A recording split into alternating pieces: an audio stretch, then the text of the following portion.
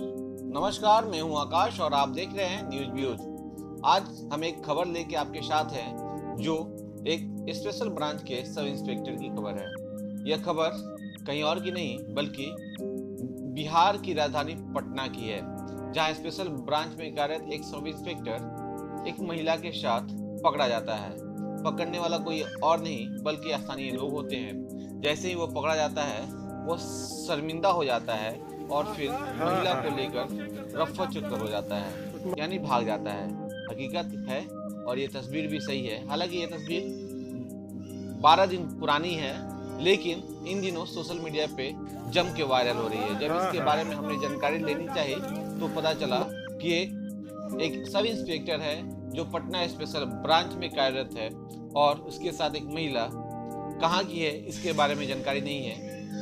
खबरों के मापदंड के चलते इस महिला की तस्वीर हम आपको नहीं दिखा सकते हैं। लेकिन ये पूरी तस्वीर देख के आप खुद समझ जाएँगे कि एक सब इंस्पेक्टर के लिए एक स्पेशल ब्रांच के सब इंस्पेक्टर के लिए कितनी शर्मिंदगी की बात है ये। क्या है पूरी तस्वीर? आप भी देखिए और खुद समझिए कि क्या है पूरा मामला। चलिए चलिए चलिए। आइए आइए। हाँ वाइफ है।